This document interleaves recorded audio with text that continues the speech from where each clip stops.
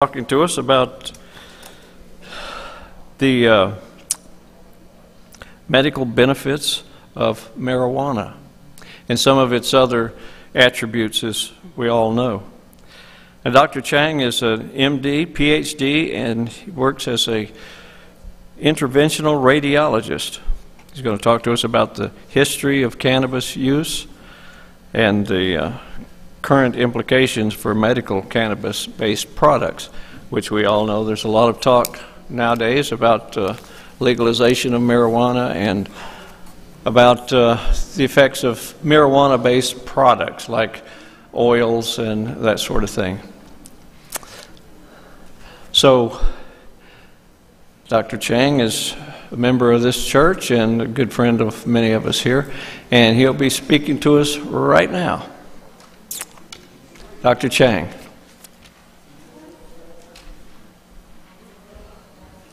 Thank you.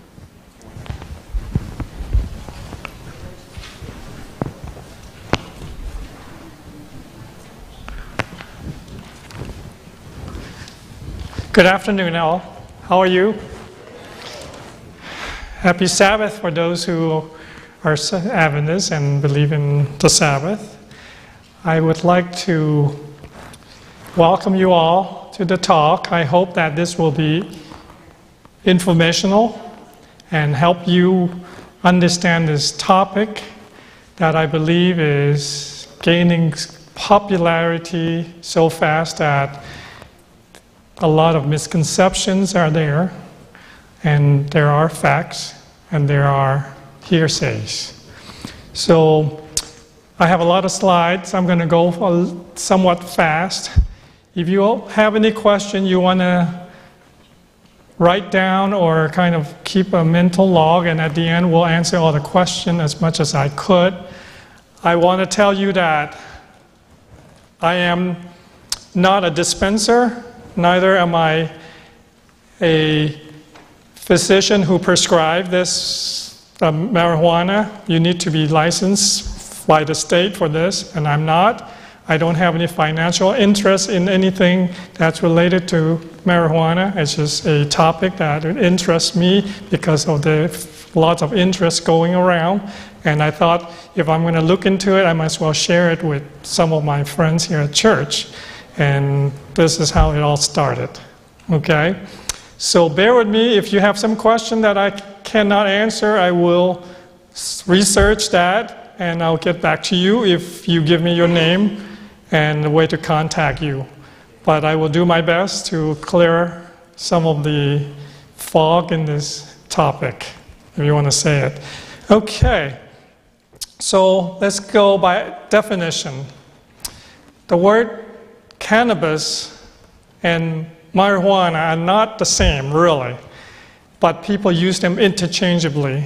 But technically, they're not. But in a lot of literature, a lot of news report, and also in this talk, it will be used interchangeably. So just for the purists, I want to clarify that.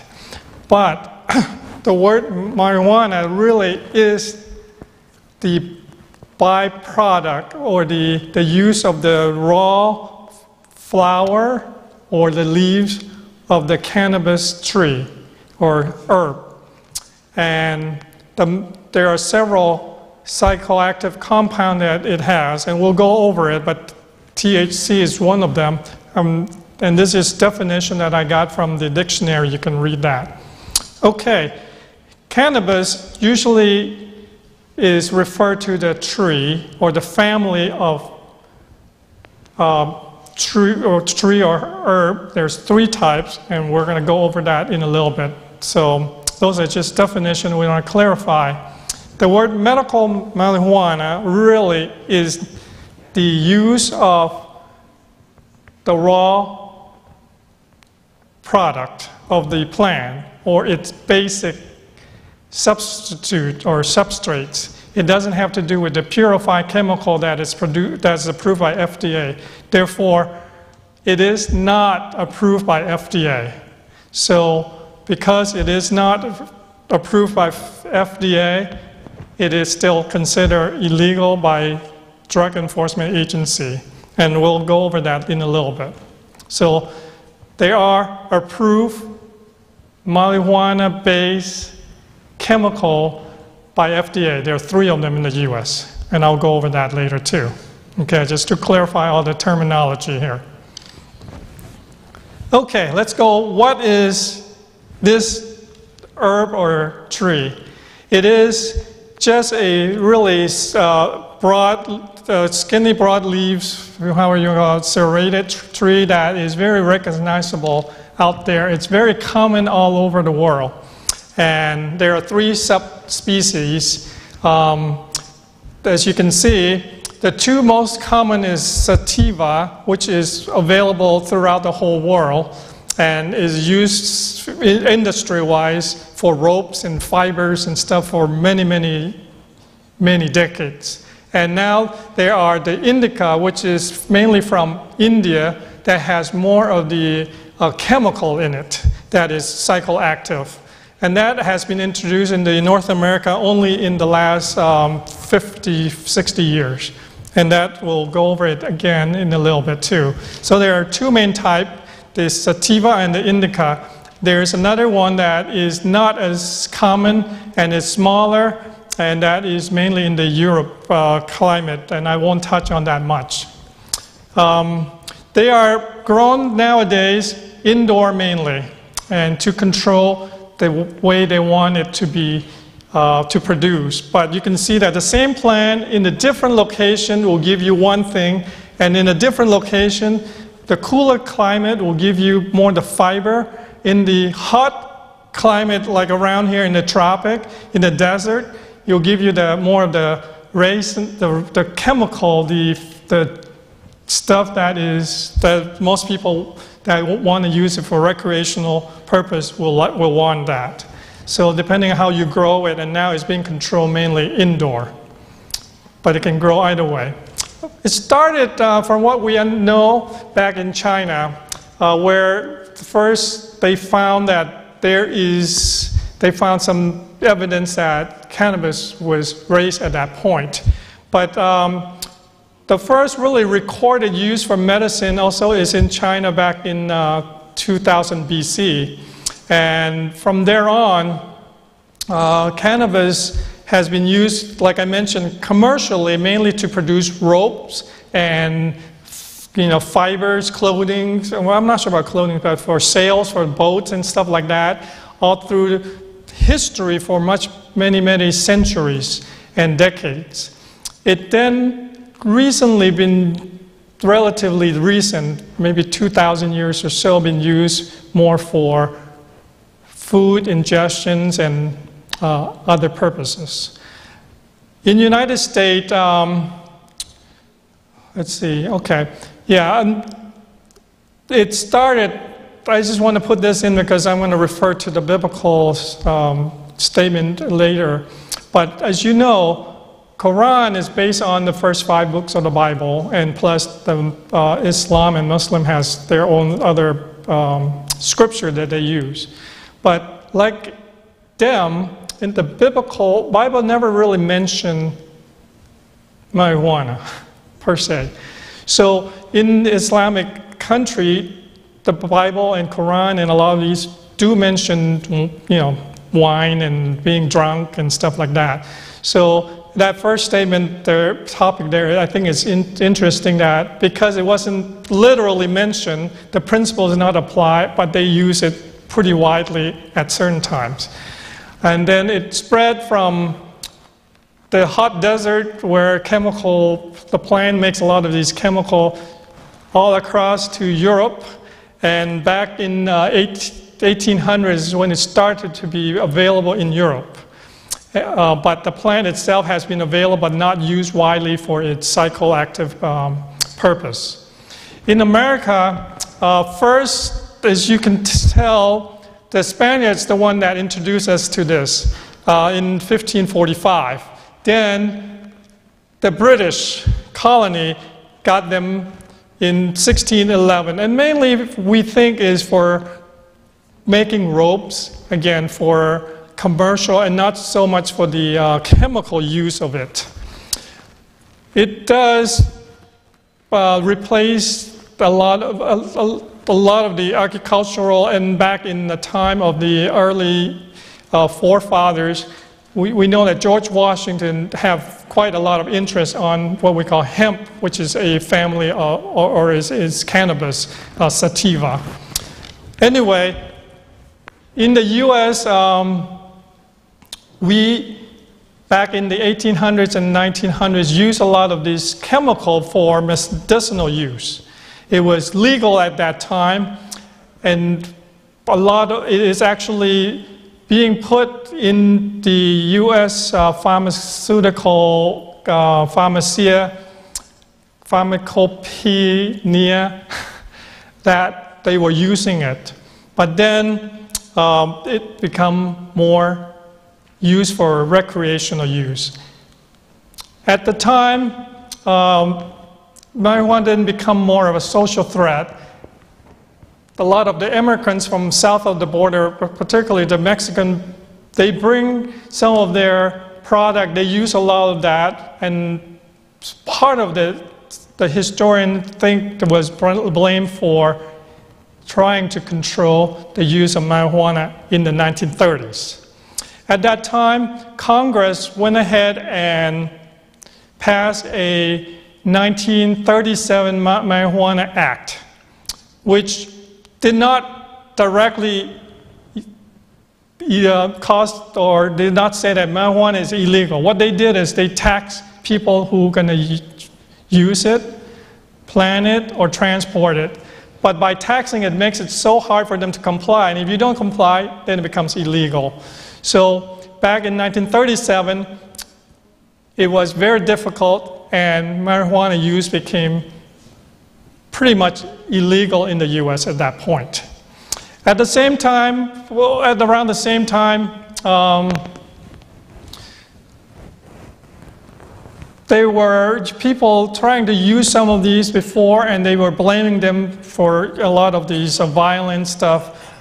That has not shown out to be true, so it has been replaced. The, the theory of the marijuana is bad drugs now is believed and also somewhat proven to be a what they call uh, the first line medication use. And there are data that suggest that, and well, I think I have part of that to show.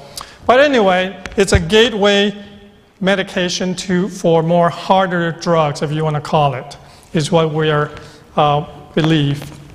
Anyway, the, as the time from 1935 to 1950 and 60s, the penalty for using, transporting, or selling marijuana becomes the penalty becomes worse and worse uh, with each state um, buying into it.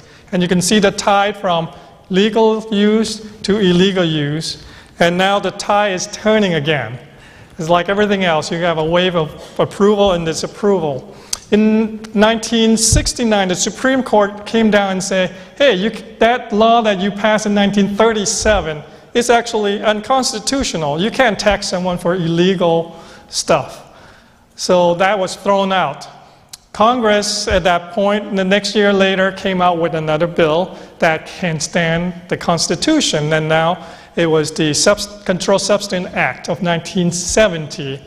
And that act formed what we know today as DEA or Drug Enforcement Agency, which control everything that has to do with drugs and illegal use of it or legal use of it.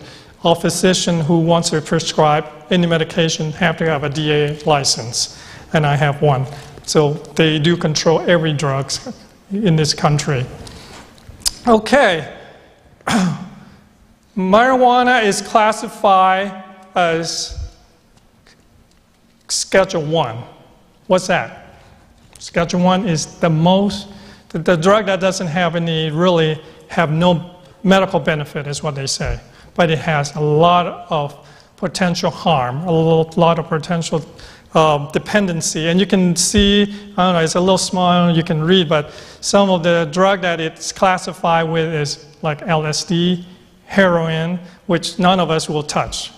Marijuana is part of that according to DEA. And it is still classified as Schedule 1 controlled substance. And because of that, research on marijuana is being suppressed by that classification because a researcher cannot just go out and buy one. They have to get DEA approval, they have to get approval, it has to come from a lockdown uh, grown facility in University of Alabama or Mississippi, one of the two, and it has to be transported in an armored car type of a deal, making sure nobody will break into it and steal it and stuff like that. So it makes it very, very difficult to do any research on marijuana and its substrates. So because of that, is there's not a lot of data out there to show if it's good, if it's bad, what is what does it do, and but they are enough to, for us to know. And I'm going to show you what we know as of now. Like I said, the tide is turning from illegal use now to people want to use it. It started in, like almost on anything else, West Coast, California, right? There, anything happens in California happens throughout the whole country. They first legalized for medicinal use and for compassionate use in 1996. Well, with that wave, guess what? As of this month, we have 31 states in the United States that have medical marijuana or some force, some type of law allowing people to use for medicinal purpose.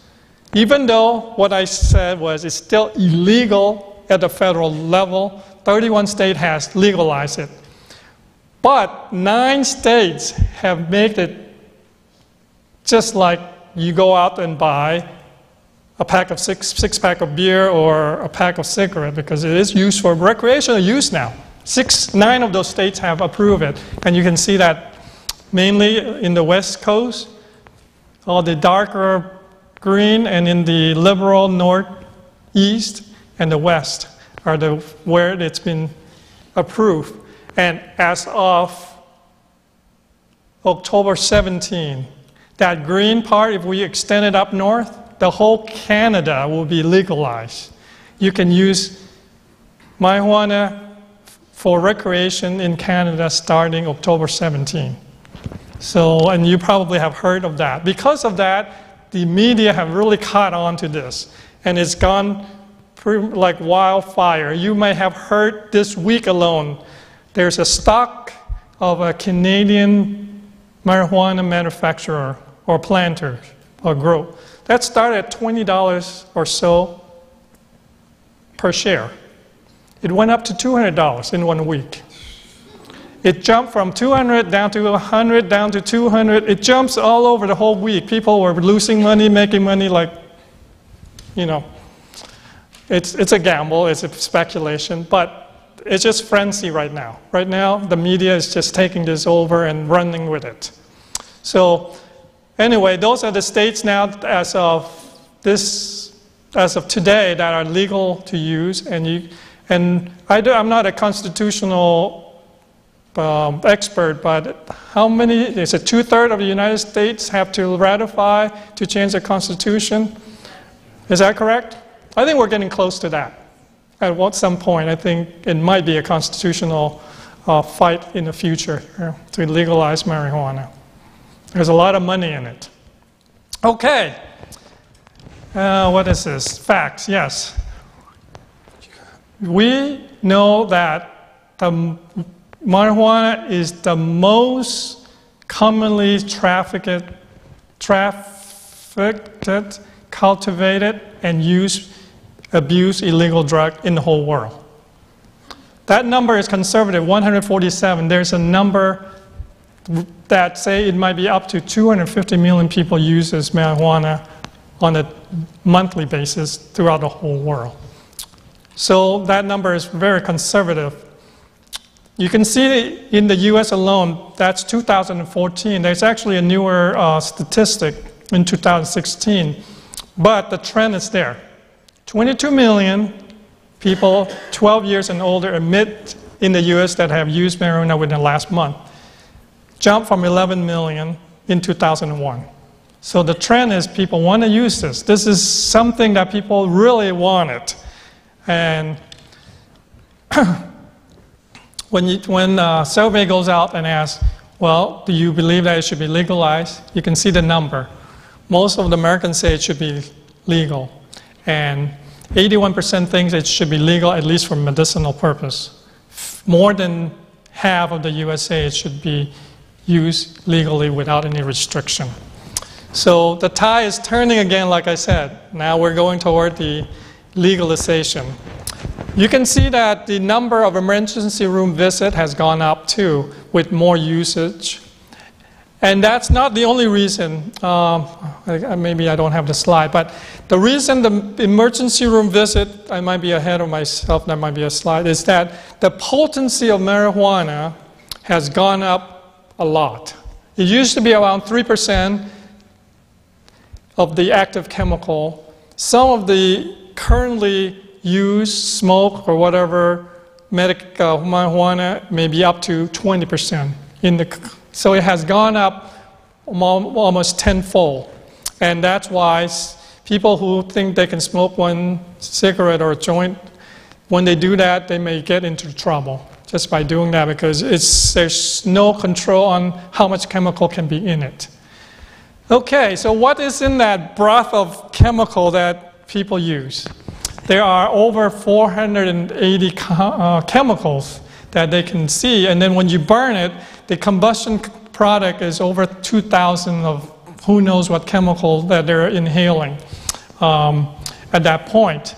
What we want to talk about is the uh, cannabinoids, which is the buzzword for chemically active compound that comes from marijuana. There's up to 100 of those that has been uh, isolated so far. Okay, so what are these? You might see all these uh, alphabet words. A lot of them start with a C for cannabis, but you can see all of that. The one that most of you probably heard of is THC, right? How many of you have heard THC? I think majority of have. And how many of you have heard uh, CBD? Okay, um, somebody just showed me, Consumer Report just have a big article this month on, on October edition that came out a, a week ago, uh, for next month, that came out a week ago on the use of CBD and marijuana. So now it's more people is going to be talking about it. Last this week, NPR, which is National Public Radio, has a big feature on marijuana and use of it. So the media is just really catching on on that. Today, what we're going to do is we're going to concentrate mainly on THC and CBD, which account for more than 40% of the psychoactive um, product in the most of the uh, chemical preparation or form of marijuana. Okay, cannabinoids is that 100 or so chemical. You can break it down into psychoactive and not psychoactive. And the list is up there. What is psychoactive? Well, something that alters your mind. Psychoactive. So anyway, just, just for a kick, what is the most commonly used psychoactive chemical in this country or in the world, you think? What is it? Coffee? Coffee. Nicotine? Yeah, coffee wins by far. Caffeine. Not just coffee, caffeine, you know, you see them in Coke, all soda, Mountain Dew, and ca- coffee. And they make it even sexier with some French name, cappuccino, Italian name, and all the stuff. So, know, but it's all the same thing, caffeine is the main ingredients that people want. We're not talking about that. I, I like that because there, there, there's a lot of stories you can talk about it, but that's a different day, a different topic. Okay, the three one that you may hear about that is being researched the most or know about is THC and CBD. The third one there is CBN. Again, it's there because it has a direct fit into one of the receptor that we'll see later. But the two that um, you can see, CBD is the new, the new fat drugs or nutritional supplement, if you want to call it. And you're going to hear a lot of that. And the reason is because it does not have the psychoactive effect of THC, meaning you don't get high, you don't get a lot of these other um, hallucination and all this thing from taking it. And it may have the other stuff that is beneficial, which people like, like anti-inflammatory, and some, you know, and some of these, um, one that a lot of people say neuroprotective, meaning it helps protective. But CBD also is known to actually counteract the effect of THC. So it's interesting that in the same product, you got two chemicals that kind of try to control each other. Um, so anyway, we'll talk about it in, also in a little bit. Um, okay, I mentioned that we are going to talk about the two. Before we can talk about that, we need to know why is THC really, or where does it work? Well, back in 1990s, scientists came out and discovered there are these natural occurring uh, chemicals in your body that the cannabinoids act on. And they, they name it anandamide. These chemicals um, react on two type of receptors. There are CB1 and CB2. And, it, and that was found in 1990s. A lot of these, um, I'm try, I'm, I don't want to go really deeply into it, but CB1 um, and CB2 are receptors that these um, cannabis product binds into and mimics its normal occurring chemical in your body. It is a presynaptic type of a circuit, meaning that it goes and controls the release of the neurotransmitter before it fires. So it does have some kind, uh, it controls the excretion of a lot of the neurochemicals. And you'll see why it's important a little bit. So the reason, um, the, the three that we mentioned earlier, THC, you see that key, it is a complete fit with CB1. And then uh, CBN, which we're not going to talk about much, is a complete fit into the receptor of CB2. CBD, on the other hand, does not work with this. And we really don't know where it works or how it works. But it is supposedly the wonder drugs of the 2018. Okay, CB1. What does CB1 receptor do? It is mostly in the neural system, in the main central nervous system, the brain, spinal cord, and in the peripheral nerve. And it does all these other um, things up there. You know, it gives you pleasure. It helps with the memory. It helps with the, your thought, your concentration, your sensory, your perception, your coordination, all of that. It modulates that. CB2, which THC does not have, have some effect, but CBD does not, is more in the periphery. It has a receptor in the immune system, a lot of it, but it also has some in the nervous system, but not as much. Well, what's the importance of that? Well, you can see what tissue contains CB1 and what tissue contains CB2. Pretty, pretty much almost every organ in your body has it. The brain, the nervous system has the most. Okay, so it does affect every, almost every part of your body, this chemical. Let's talk about THC, which is the most known and the most um, um, active chemical.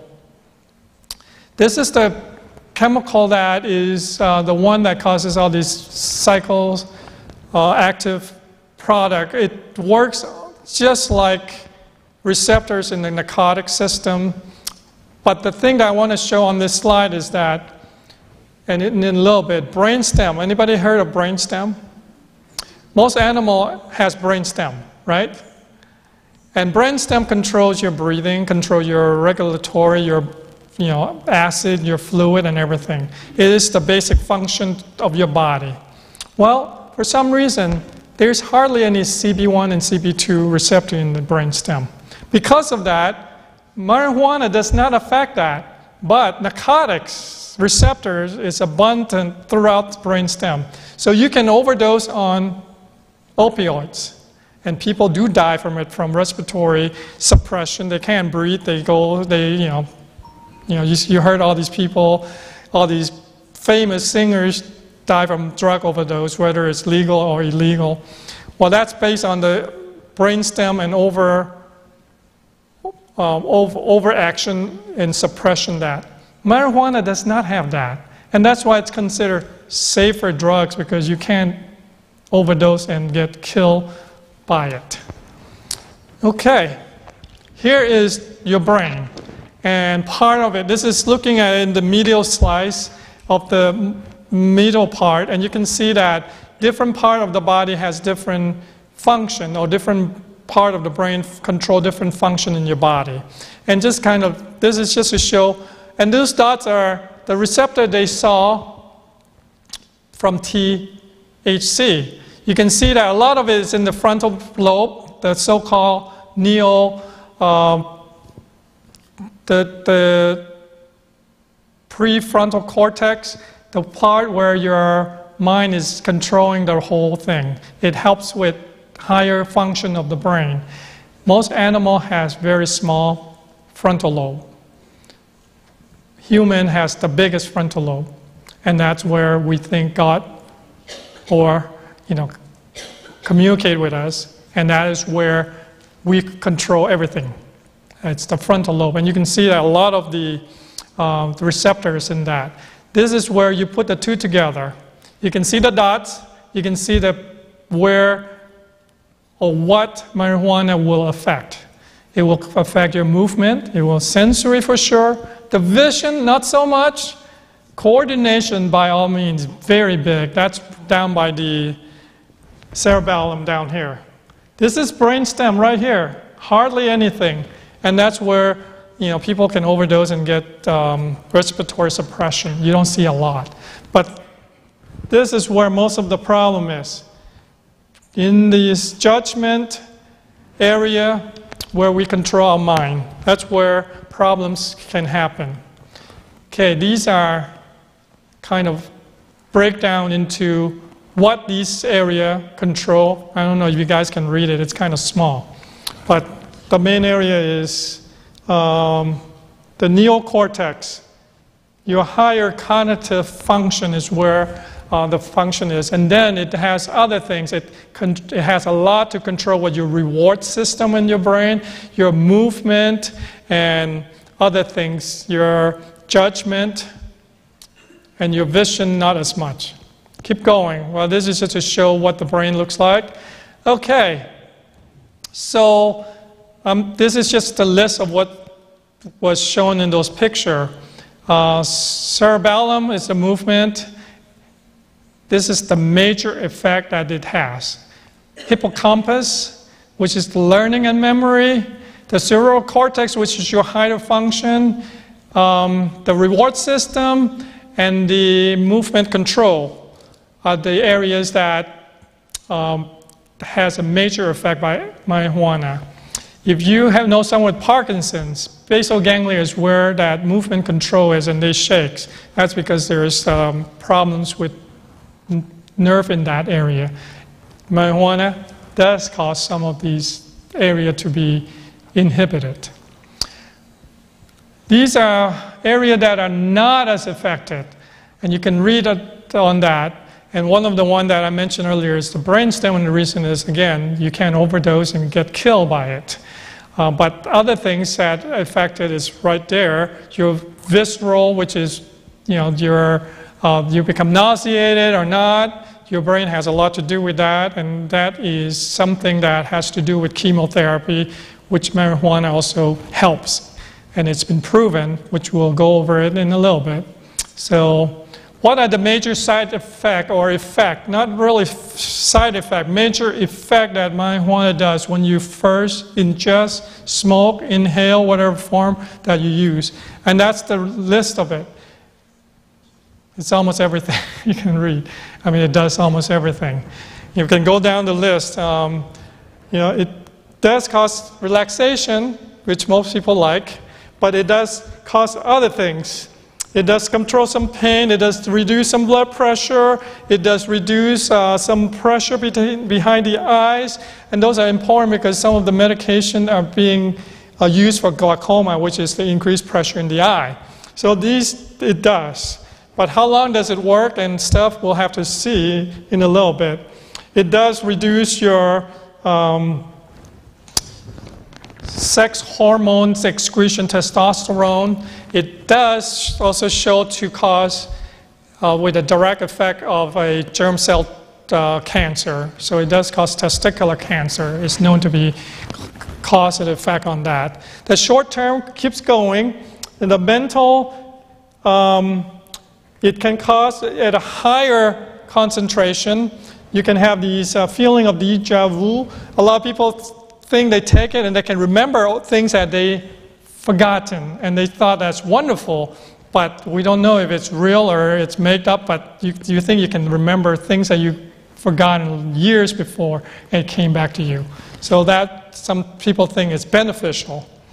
Um, but it also causes other problems sometimes difficulty in concentration which is a problem if you were students or if you were doing something that needs concentration, especially driving or operating machineries and stuff like that. And then at a very strong dose, it causes distortion of color, time, and sound. Very strong dose, visual hallucination.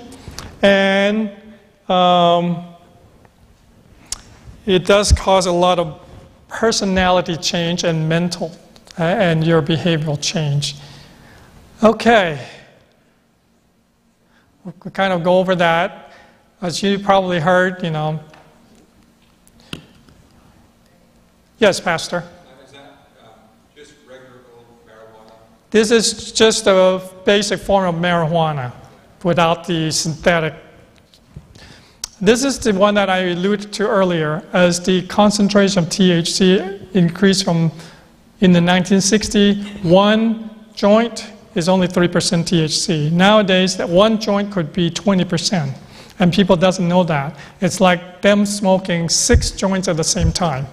So because of that, a lot of these strong overdose have occur, and those are the sign of overdose, short-term effect overdose, and we have seen some a lot of increase in emergency room visit as the concentration of THC goes up, it has done that. Okay, some of these uh, literature that has shown that marijuana and mental illness, what are the causation or is there any link? It has shown that marijuana, mainly in adolescent, and I'm going to touch on that a little bit, developing brain, adolescent, has two to seven time increase in development of mental illness if they were using marijuana in during their child adolescent years. That has been shown to be a fact. Why is that? Well, myelin, which is the lipid content that covers the nerve, and it increased the nerve transmission multiple folds. So think of it as um, having like a generation 2 speed on your phone versus generation 4 G2 and G4 how faster it is or G5 well myelin myelinated neuron fire at probably G6 whereas non-myelin fire at G1 speed. It's kind of analogous to the cell phone internet rate okay? Well, myelin develops in your brain all throughout your years, up to probably in your early 20s. This is a functional MRI of a brain looking at that, white part in the middle where the arrow is, It's called corpus callosum, which is the white uh, nerve fiber that communicates between two sides of your brain. It cross, crisscross, and that's where the brain talk to each other. In people with schizophrenia and people with uh, a teenager that uses marijuana, they see similar reduction in that part of the brain.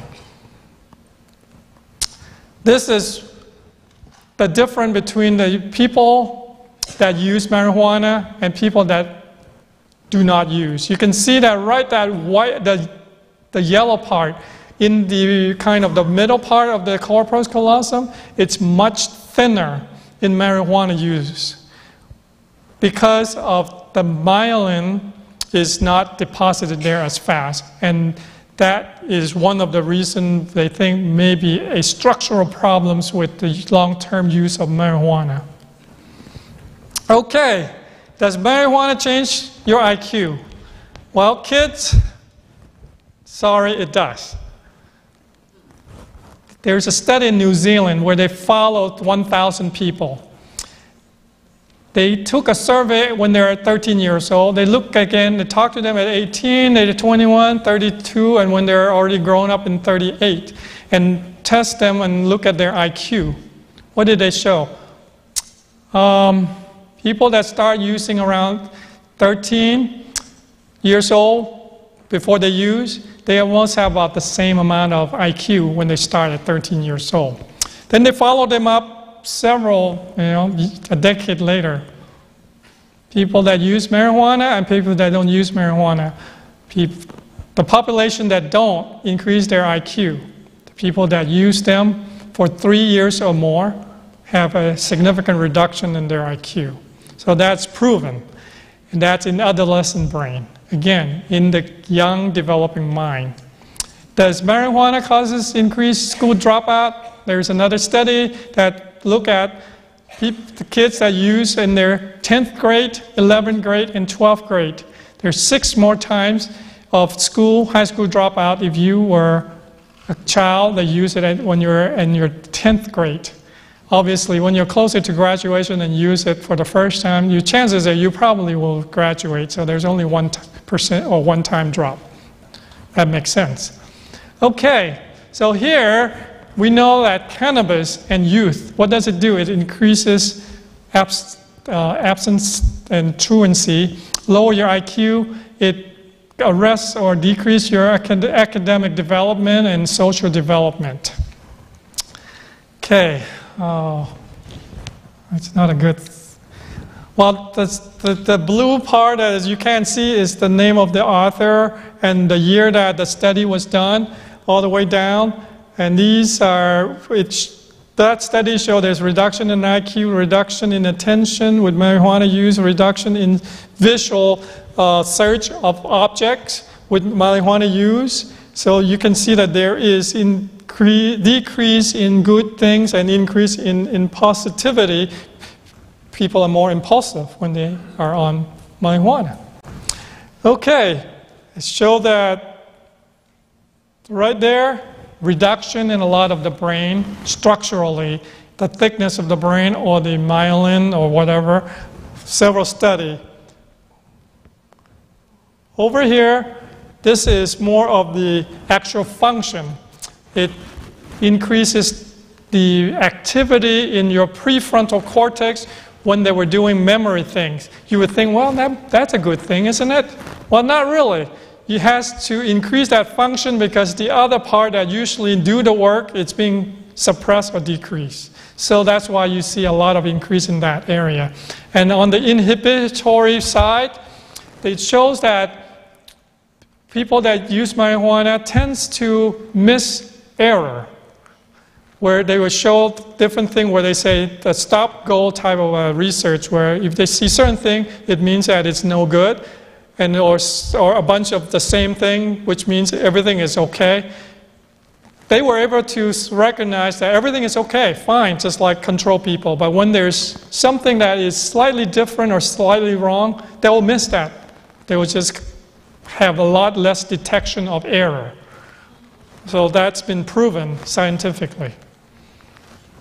So for parents and grandparents, the adolescent year is up to 24 year, to 25 years of age when your brain is still working.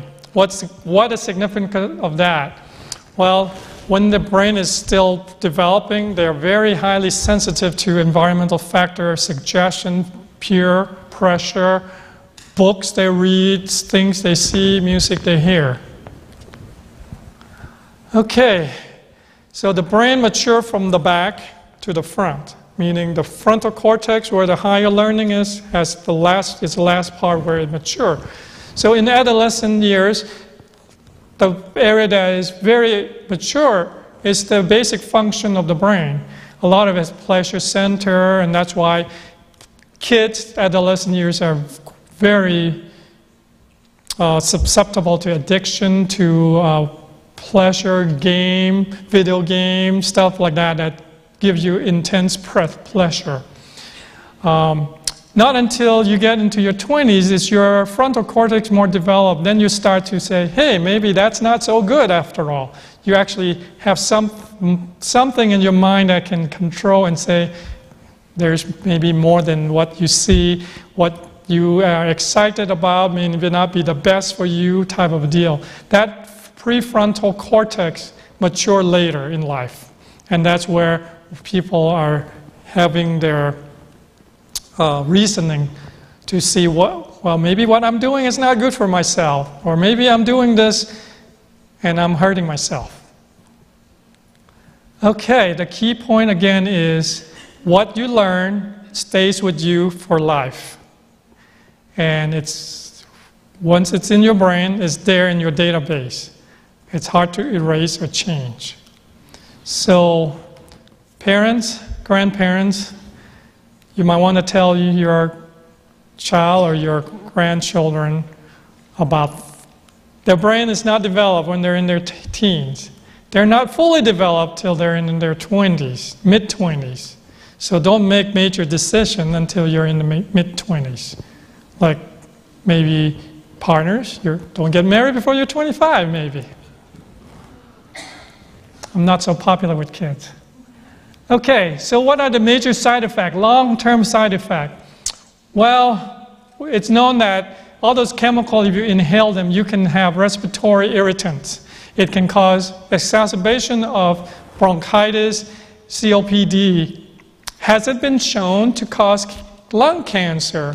There is no data to show that smoking marijuana does cause lung cancer, but as we know, lung cancer doesn't happen right away, it happens several years later. So I think still need to be seen.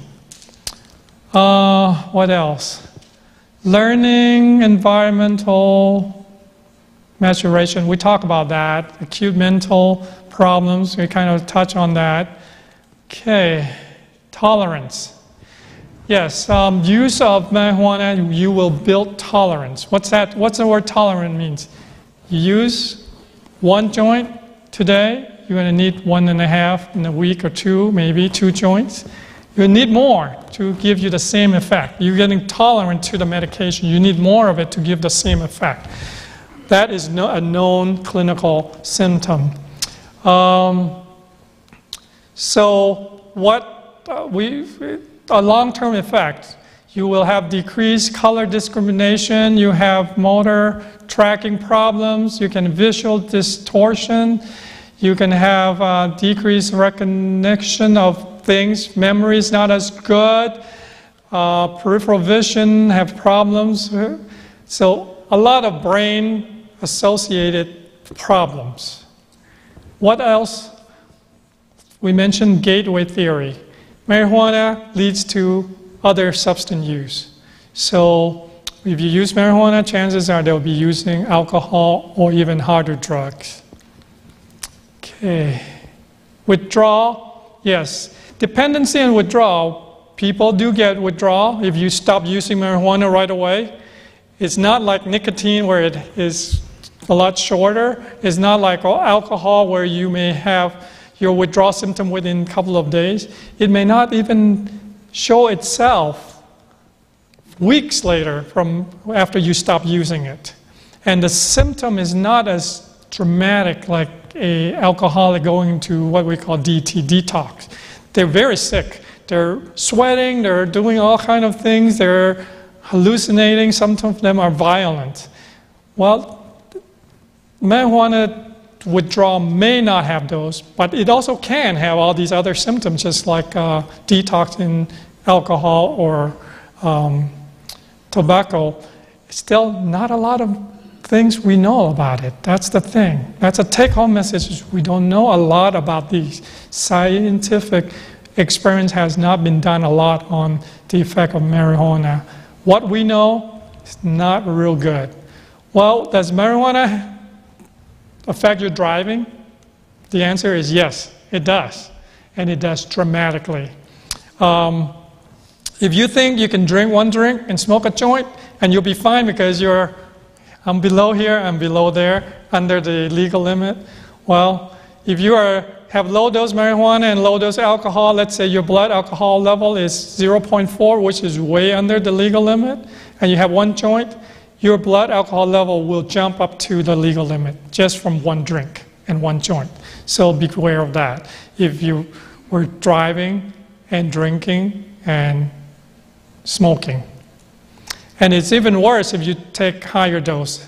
So how long does it last? It lasts for hours. It lasts longer than alcohol. So you are compromised much longer.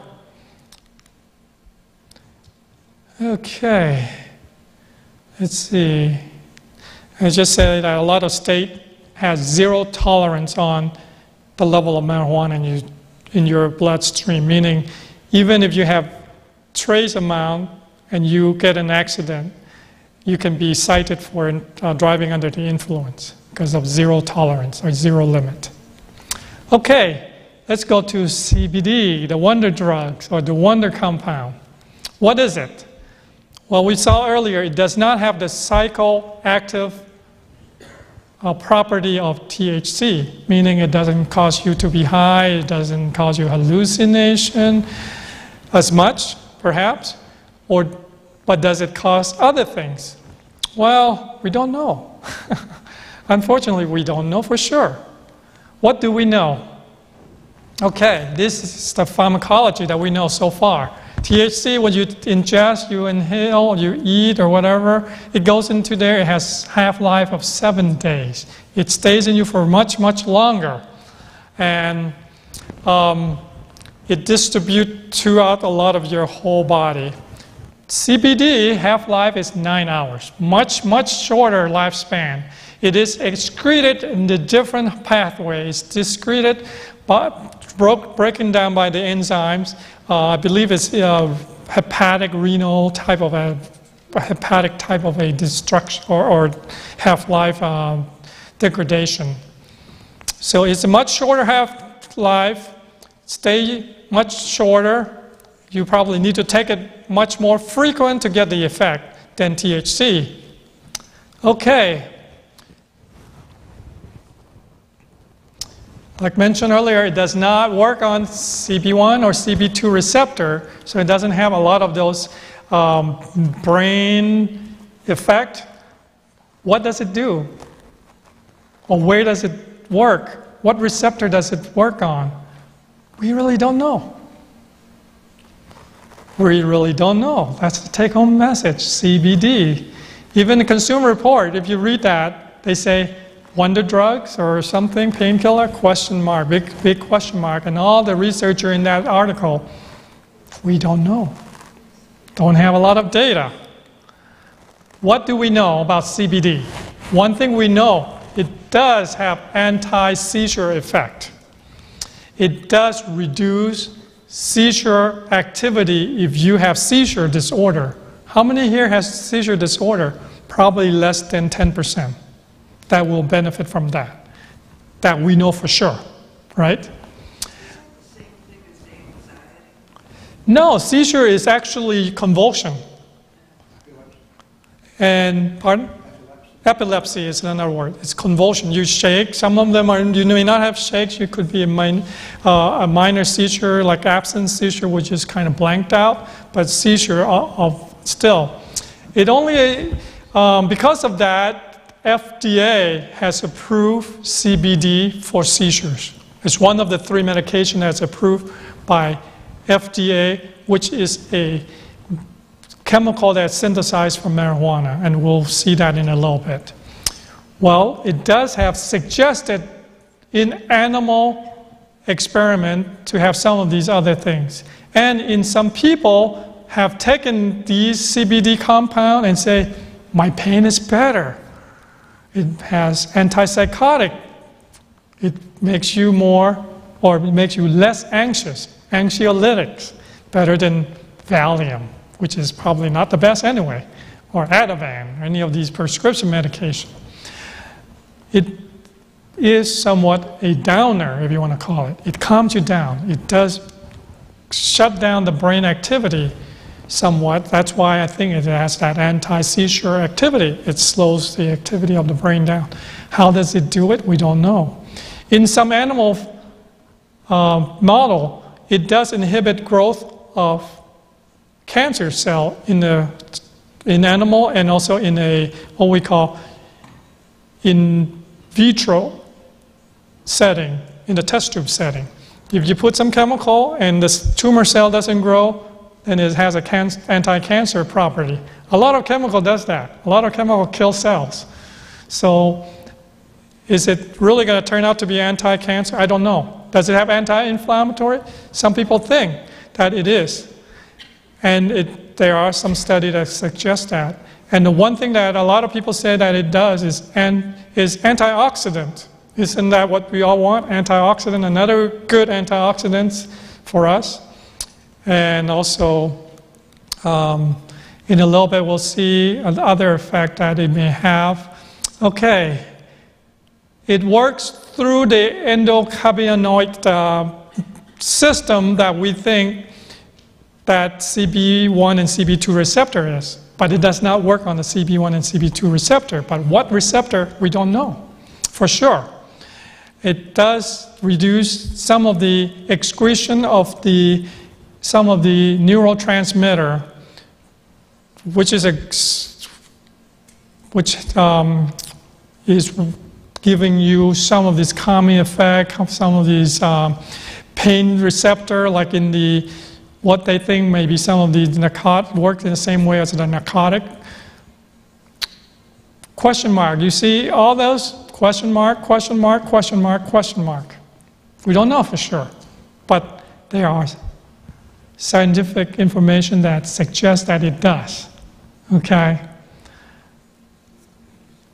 What they think is it doesn't work only on one receptor like THC, like CB1, or the other one that works on CB2. It works on multiple receptors, is what they're saying. Since we don't know which one it does, it works probably on a lot of this receptor. It's probably do all these things.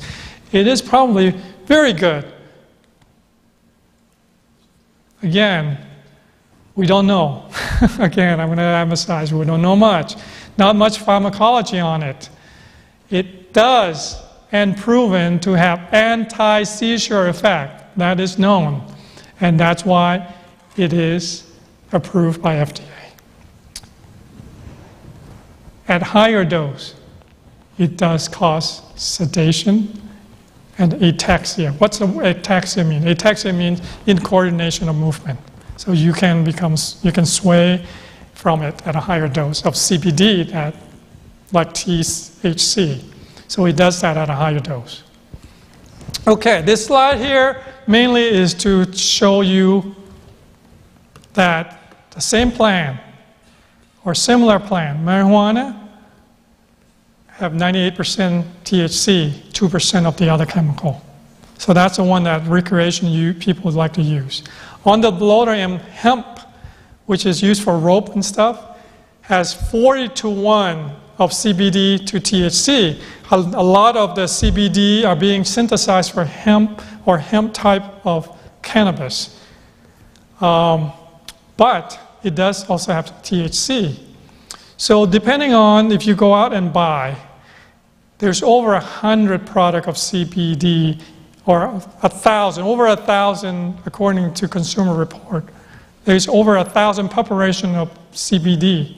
Where did they get their CBD from? Did they get it from the higher THC or they get it from the low THC? Are you going to get THC with it or not? Who's controlling that? I don't know. Okay, this is to show that different type of formulation has different concentration of THC. And you can see some of these terms, you know, hashish and all this stuff. Some of them are up to 70% THC, very highly concentrated in the oil because it is the lipid soluble. Okay, now emphasize illegally it is an illegal compound marijuana the flower the leaves the basic form that you just showed that you saw earlier is still considered control schedule 1 substance just like lsd just like heroin in the federal level. 31 states have legalized that for medicinal use. Florida is one of them. Some of you may have voted for that. I think three years or four years ago in the ballot measure. Okay, what are the indication? In Florida, you have to have this list of problems to be able to be prescribed medical marijuana. If you don't have only one of these, you can't legally. But the last two, especially the last one, see all those wordings? Chronic pain, secondary to something like this, something like that. Well, if you have chronic pain, they will make it so that you can have it. Arthritis. Arthritis is not one of that list, but yes, if you have arthritis, they can fudge there and say, yes, you have enough chronic pain. Yes, people do prescribe for that. But it's not one of the indication, really, technically, but they will give it to you for chronic pain. What about price, uh, Dr. Chang? The what? What do you- what do you know about the price of this one that's been legalized, the Epidiolex? I don't know. They, they, they, we'll get to that. I don't know the price, but okay. So now, does Florida let you smoke in the smoking form? No, that's illegal. You cannot go out, buy the plant, and smoke it. That's illegal.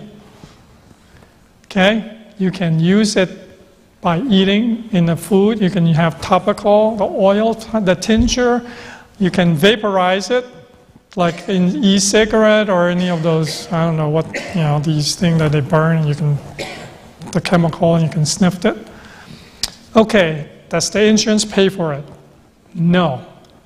Insurance do not pay for medical marijuana. Why? Because it's illegal at the federal level and they cannot pay for illegal drug federally. Okay? But like I mentioned, there are three FDA approved chemical by that is just like marijuana or came from marijuana that if it is prescribed with the indication, the insurance will pay for it. And okay, so because it's expensive, you have to pay out of your pocket to see the doctor to get the license to uh, being able to prescribe, take that license and prescription to another place, the dispensary, to buy it, everything cash basis. Okay? Some people say, well, can I grow my own? No, it's not. It's not legal. Okay? These are the three medication that's FDA approved. The liquid form is only for two rare epileptic, ep, epilepsy or epileptic condition. Dravet and Lennox-Gastaut syndrome, less than, like with any medication, you can use it off-label. When it's approved by FDA, you can use some of this medication off-label. So if you have epileptic problems, can you use this? Probably. Would the insurance pay for it? I don't know for sure if they will pay for it. But if you have one of those two syn- syndrome, yes, they will pay for it. But if you don't, I don't know. And I'm sure it's very expensive. Would you go into, I've never heard of those two syndromes, Doctor. Th- those are rare childhood epileptic syndrome. they're very rare. But when drugs company do this thing, they go for anything that they can get approved. Once they're approved, like I mentioned, doctor can prescribe it off-label for anything else. There are two THC based oral medication that are used mainly for chemotherapy induced nausea. Chemotherapy works in the brain system, causing nausea. These goes in that system and reduce that. So it's work. In AIDS patient where they lose uh, weight, wasting syndrome from AIDS, it is approved for that purpose too, and has been shown from I think California and some of the state where AIDS patient who's, and chem, uh, chemotherapy patient who smoke marijuana, they do have less of the nausea and they do gain weight, they have less problems, and that's why the drug company went and got those approval, and now it is approved. Because it is approved, these three medication is no longer a class Schedule One. I think one of it's Schedule Two, the other is Schedule Three. What's that mean? It means you can get it legally. It means that insurance will pay for it if it's in the right indication. In other countries, there's another approved medication which is a spray. It is a combination of THC and CBD in the one to one ratio. So we have the same amount for both. And it is used mainly for MS patient, multiple sclerosis, where patient having spastic, they're all tense up. It's shown to relax the muscle. If you have some of these um, neurological problems and you have spasticity, it's shown to help. Is it a THC or a CBD? We don't know, but this medication is approved for the, both of them in the same concentration. Is it going to be FDA approved? Probably, if eventually, but I don't know when. Okay? So, there you go. Summary of what we know so far. So, I also wanted to touch a little bit on what did the Bible say. There are people that say, well, the Bible say you can use marijuana. Right? Where is that? I look. And I look. And I look. And there is none. Well, it's in the, in the, is it Genesis, every herb bearing seed. That's up there. Every herb bearing seeds you can use for food, right? There's a lot of herb bearing seed that you don't want to use for food either. So that doesn't mean that Bible blessed it specifically. Sure, can you use it? Did Satan degrade it or change it? We know that there's organically engineered plants everywhere. There's crossbreeding with different things to make things more potent or less potent and whatever. Did Ellen White say anything about, uh, I did not go into her writing because I, I wasn't sure what type of audience, and I don't want to, you know, introduce that. I just want to use a biblical. So yes, seed-bearing plants or herb you can use, but do you want to use some of these really toxic herbs out there? I don't think you will. that's a stretch. You know, so I think that's a stretch. There is one place where, for the anointing oil of the priest, they use this sweet calamus, which in the Hebrew, I don't know how to pronounce it correctly, but it sounds like cannabis because it's cannabosum or some bosom. So some people think that cannabosum, it sounds like cannabis, so it might be cannabis. And some people say that that is where people use, or the Bible say, it is cannabis. Looking at some of these writing, some, uh, some Jewish writing, first of all, if it is, they're not smoking it. If it is, they're not ingesting it. It's mainly used to anoint priests. Oil on the anointing, that's it. Anointing king, that's it. Nothing else.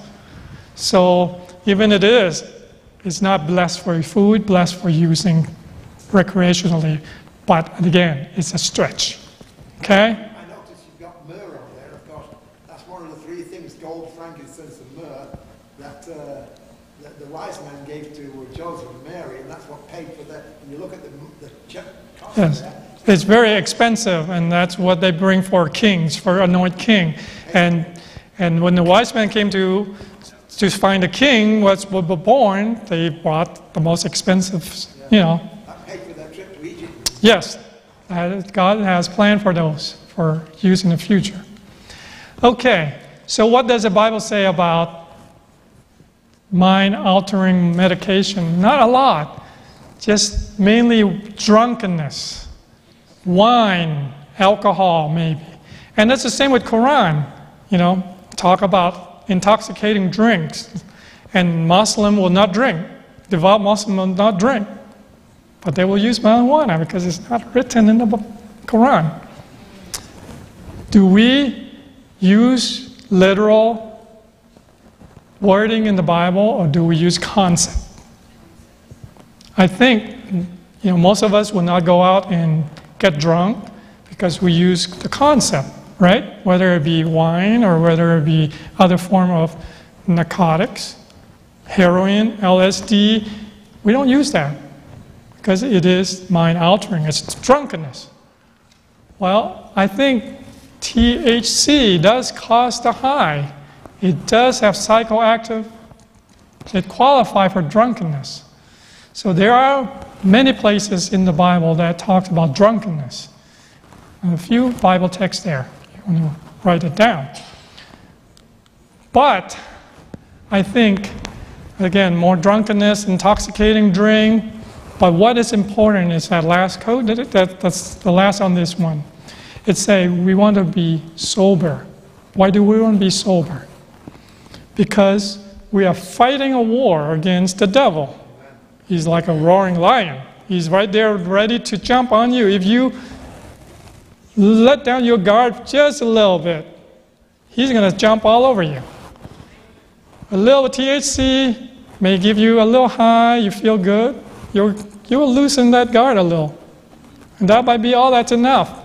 Maybe for some people, maybe not. I don't know. Some people have higher tolerance. But right there, you want to be sober because the devil is out there looking for you. What else? The principle is that we are not us, we don't own our own body, do we? God has paid a price. He has died for us. He has purchased our body. We are a temple of the Holy Spirit. He lives in us. Do you want to defy that with any chemical, with anything that will, you know, alter your mind? I think that's the principle that we should live by. You know, we are temple of God. We're temple of the Holy Spirit. We are we should be a living sacrifice. Those are the words that God has written in the Bible. And I think that's the principle we should live by. Um, yeah, like I say, submit yourself to God, resist evil, and He will flee from you. Okay? Last, um, the promise is that if you have problems with addiction already, it's not too late. God has said that there is no temptation that cannot be overcome by His help. The promise right there. So don't be discouraged. If you're already being tempted, already in the situation, there's a way to get out. The bottom line conclusion is this. I'll take question after this. THC, I think, psychoactive. I have no problems putting it as Schedule 1, just like LSD, heroin. It may have other beneficial effects. I give you that. But it also have too many side effects, too many effects for me to want to use it. CBD, it might be the wonder diet supplement in the future. We don't know. Question mark everywhere. We don't know where it works, what, how it does. Does it have all these other claims, anti-inflammatory, antioxidant? Does it have neuroprotective? You know, if you have brain injury, does it help you? It may. But Who's controlling what type of CBD you're using? Does it have no THC at all? Does it have one to one THC in it? I don't know. There's thousand preparation out there. If you buy CBD, do you know where it's coming from? Who has it? Some of these, there last month, they were shown that some of this preparation has a lot of pesticide, herbicide in it, because during the process of trying to concentrate this chemical, they use plants that has been treated with herbicide, and now the herbicide is concentrating in these medication. Who's out there to control those? Nobody.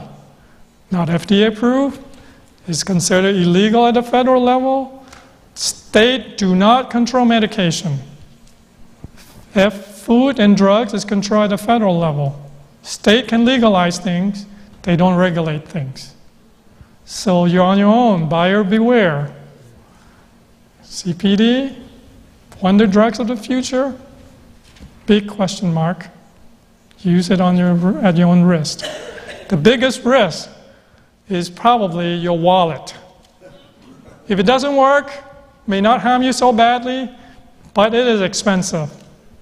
So if you have a lot of money to throw away, you want to experiment, let me know. If it works for you, I'll be interested to find out. But I do not think that the verdict is out there to support usage of it at this point. But if you have a medical condition that you desperately need something different than what current treatment is, and there are people out there that say it works for me and you want to try, I'm not going to fault you for trying something, but I'm not going to condone you from doing it either. Okay? Question? Do we have a microphone? Just before, just before, um, uh, we're gonna have a draw for books, and if you have that paper, if you want to be just filling that paper out, we're gonna have a draw for a number of different books. So if you like that, uh, does anyone need a pen? They don't have a pen, they need, uh, uh, Luann needs a Moran pen. want a pen. I- Paper and pen. Okay, uh, Maria? Luann needs a paper. Okay. If we don't have a mic, I'll try to repeat the question. Uh, Question? Buzz? What is the relationship between this and glaucoma? Okay, that's a good question. What is the relationship between marijuana usage and glaucoma? It short-term reduction in the pressure of the uh, eye. Ni- 2016, there's a conference of all the researcher comes together. They came out and said marijuana is not that useful for glaucoma, in the, for treatment of glaucoma. The evidence is weak that it does, so they do not. And that's why it has not been approved by FDA. There are people who use it and say they do good, but people who use it that doesn't have any effect at all too. So again, got the money, What about the CBD and chronic pain? CBD and chronic pain. Again, like I mentioned, there are people who use it and it works. There are people who use it, it works for a short time, and you're back to the same where you used to be. There are people that use it and doesn't work. I don't know where or why it would work because we don't know the mechanism of it. But there are reported people that said that it works wonders, and the people that use it and it doesn't help. I know that if you are addicted to opioid and you are taking opioid, and now opioid is being controlled very strictly in Florida. As a physician myself, I can only prescribe three days worth of opioid for someone who has a post-operative pain. I cannot do more than that, even if you have pain. I may be able to go up to seven days if I put an exception saying, oh, this is a very, very painful procedure. After seven days, I can't prescribe anymore. So a lot of people who are hooked on opioids chronically are looking for other ways because they're not getting their op- opioids anymore. And that's because we got overdose. Que- The answer is individual.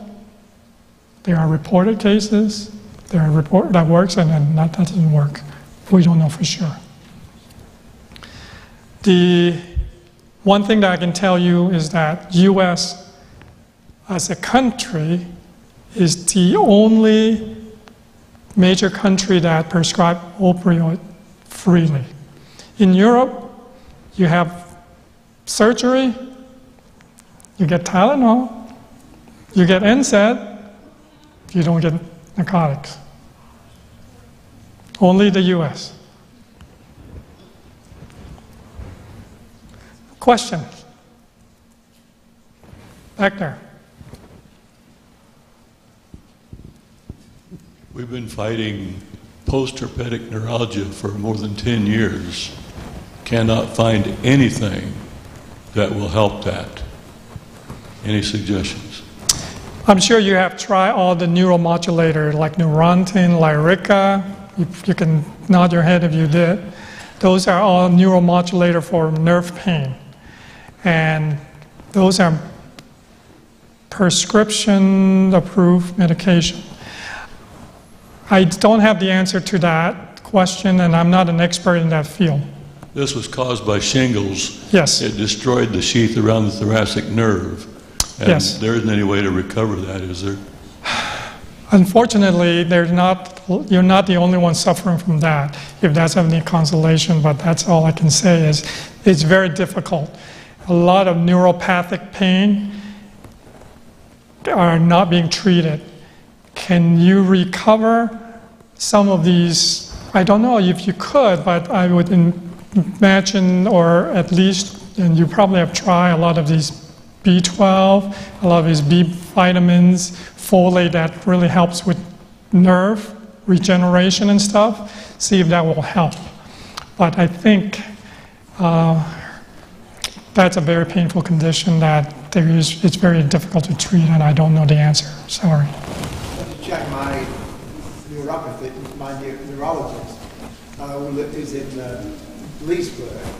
Uh, he says that there is a supplement, a prescription supplement, he told me recently, that can be used for uh, neuropathy. Neuropathy. Yeah. A lot of it is supplement. I think it's based on the B vitamins Oh, it- ah. on a high dose basis. Um, He told me my next visit he would explain to me, uh, you know, uh, what it was. let me know what he prescribed. But there are there are a lot of pharmaceutical company out there that you can't really pattern vitamins. It's natural occurring. But you can make similar to the vitamin and charge a load boat of money for it. And that's what they're doing. High dose vitamins or vitamin derivative. Any more Ant, question? If not, I thank you for. Go ahead. I was wondering if, if you if you buy the oils from the state, When you say oil, you're talking about CBD, THC oil type of a deal? THC with Okay. CBD in it, Okay.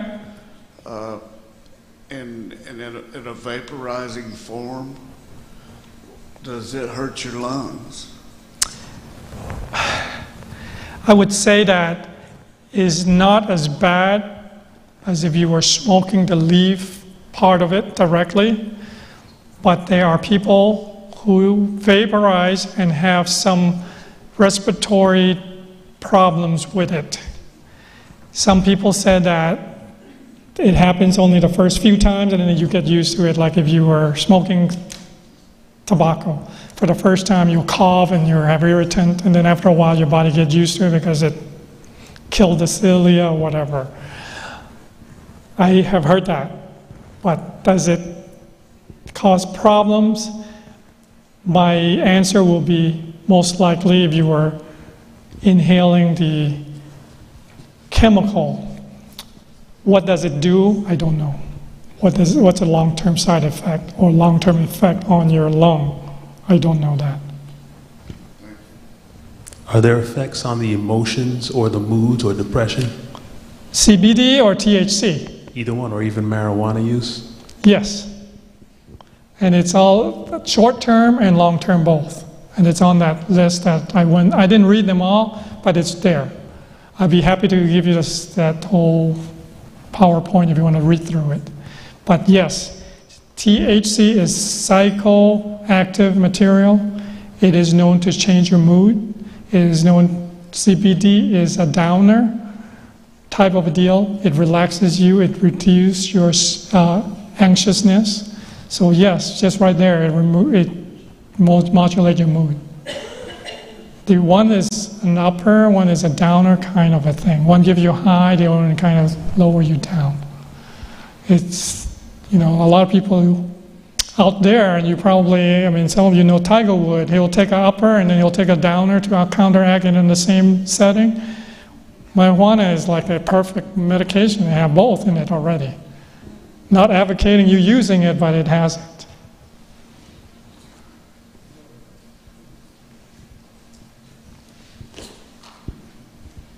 Jerry. The people that are using the narcotics and have extreme pain and it's not helping at all and they're addicted and then get more addicted. Is it safer to use the marijuana than the narcotics? You know, if I was in that situation where I'm addicted to opioids, narcotics, and it's really, really causing my mind already affected by it. I'm always sleepy because I'm taking so much. I can't be awake. I think trying CBD based product without the psychoactive, see if it works. I may say try that. I would not try THC at a high dose. Does it help in a low dose? Maybe, but it is very expensive. Insurance doesn't cover. You have to go see a doctor. Once a doctor see you, I think it's $250 or whatever, he make a determination you can use it or you can't use it. You get a certificate. I think it's issued by the state. I'm not sure. You take that certificate with a prescription. You go to a dispensary. You pay cash for whatever the doctor said you can have, and then you use it. I don't know the cost of all these things, but it's not cheap. But if you are on narcotics to the point where you can't move because you're so dope out, quote unquote, because you can't even get up because you're taking it for pain and you, when you take it, you're sleeping all the time. I don't think that's healthy either. I think there should have to be better way than that. And in that situation, CBD trial without, you don't have to go to a doctor for that. You can just order online or whatever. It's illegal to transport across the state, so you can't order from out of state because it's against federal to transport illegal drugs across state line. But there are health food, supposedly health food store, herbal store that will sell you CBD preparation here in the state in Central Florida and probably locally. Um, you know, I, I, I don't have a good answer for that, but I would say try CBD if anything. Any other question?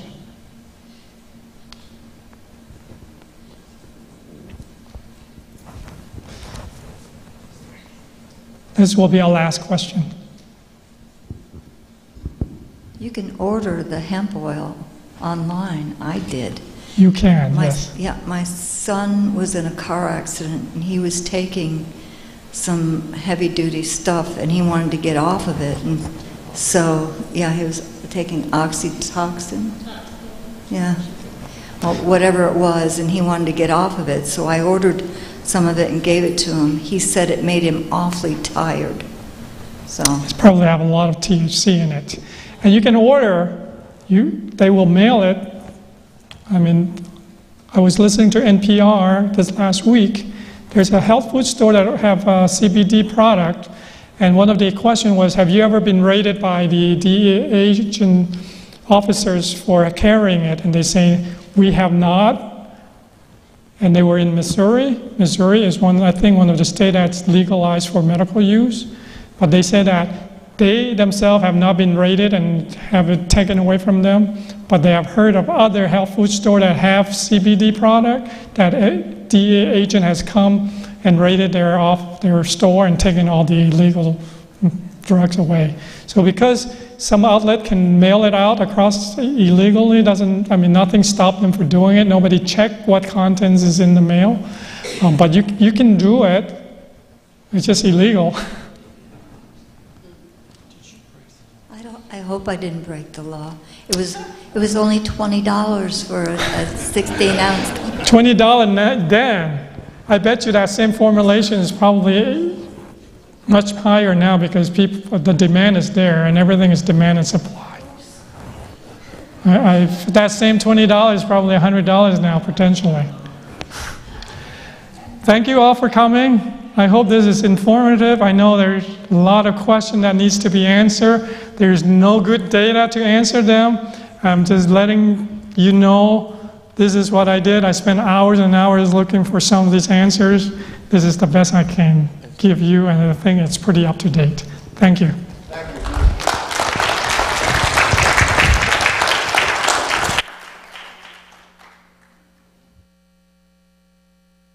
Thank you, Dr. Chang. I know uh, I've got friends, Canadian uh, physician who, uh, Canada, it's basically marijuana is legal. Uh, it's getting pretty close if it's not there yet.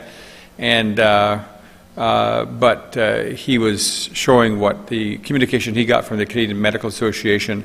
And it's just like by every, every issue not proven, cannot advise to say yes, to use it here. Every single issue, not proven, not proven, not proven. Like there's no research, there's no data to, for, you know, like science has to go by basically hard data to say yes, it's a good thing to do. You can't sanction something that has nothing behind it. It's just, you know, so it's a, it's a cultural thing. It's a big thing. It's a big movement. But uh, as Dr. Chang has basically expressed, there's not, we don't have the science behind it. So it's hard to support and get behind something that with no evidence. Does that make sense? You know, so you, you know, it would be, because people that are selling products, have you ever noticed that sometimes people in sales uh, uh, ex exalt the, uh, exalt the value of their product? And there may not be good hard data behind it. Uh, snake oil, uh, cannabis oil, I wonder if they're in the same category. I don't know. I, I don't know. But uh, it could bite like an adder. That's what uh, God says about alcohol, which is a type of drug as well. So, uh, at any rate, um, I appreciate the message today, and uh, if you have any other questions, Dr. Chang will stand by and he'll be able to talk to you. I've got, uh, we're going to do. Is that me doing that? Could it be? Um, sorry about that. Um, pardon? Uh, maybe. Trying anyway. Uh, okay, so we have a few books to give away. I'm going to let you choose which one you want, uh, whoever, when, when we draw them. So we're going to have a little draw. When I said drawing, some people put some, did some, put some nice artwork in here for the draw, so that was really nice of you. Okay,